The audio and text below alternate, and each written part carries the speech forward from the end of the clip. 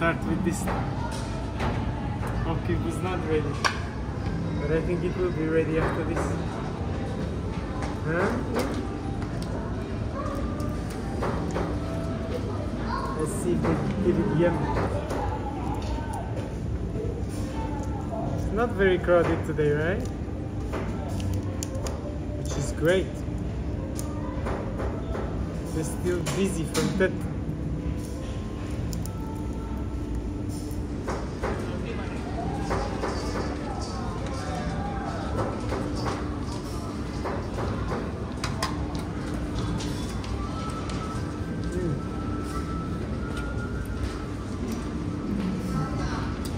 No,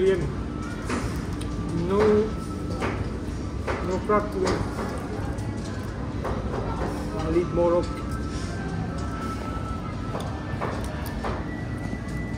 Let me show you the shrimp.